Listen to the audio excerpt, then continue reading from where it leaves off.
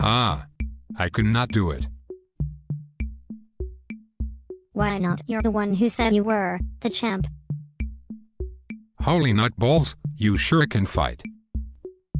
Well, were you proposing or fighting because I don't know why you got in the ring?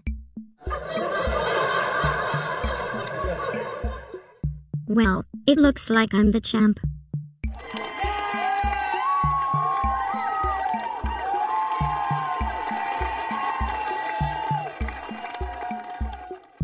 Thanks for watching, Jerk to Get Owned. Hope you liked it.